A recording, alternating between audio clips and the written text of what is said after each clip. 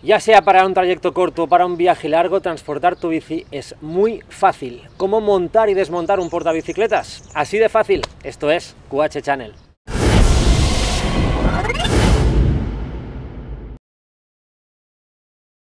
Chema Serrano, director de Administración Comercial de Tocar. ¿Dónde tenemos el portabicicletas?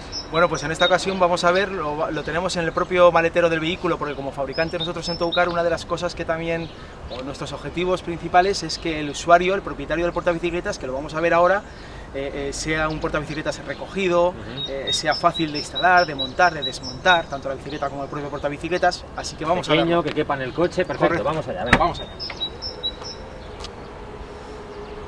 Bueno, aquí tenemos nuestro portabicicletas, el Toucar TR2, y si es tan sencillo como vamos a ver, el propietario lo sacamos del maletero, lo preparamos, ya está sobre la bola del enganche, cerramos el maletero y ahora vamos a, a ir montándolo que veréis lo fácil que es, lo sencillo, cómodo, práctico para poder transportar nuestras bicicletas.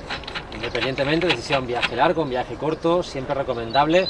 Como sabréis, está sancionado y puede ser peligroso llevar las bicicletas dentro del, del vehículo. Correcto. Así que la mejor opción, un portabicicletas como este, que además se monta nada, en, en breves segundos, ¿verdad? En, breves poco, segundos. En pocos segundos. Sí. Hemos visto que, que, que, cabe nuestro maletero, hemos visto que protegemos los pilotos, no solamente uh -huh. a la hora de que ocupe menos el portabicicletas, sino que protegemos a la hora luego de guardarlo, etcétera, en casa y por lo tanto tiene unas funciones realmente importantes para que sea práctico y cómodo.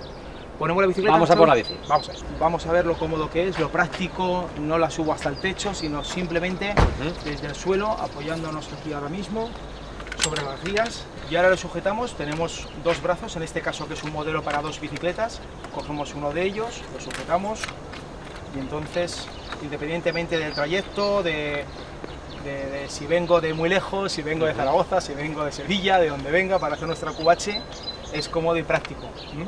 Entonces ahora sujetamos también las llantas, las ruedas, tenemos unas cinchas, tanto las cinchas como el brazo eh, tienen un material de silicona plástica que es para protegerlo directamente. Y ahora ya tenemos la bicicleta preparadica para nuestro trayecto. En nada, en pocos segundos habéis visto cómo es muy fácil poder colocar una bici como esta, llevar la bici dentro es peligroso, puede ser sancionado, por tanto una gran opción tener un portabicicletas como este, da igual, vengas de Zaragoza o de Algeciras para hacer la quebranta huesos.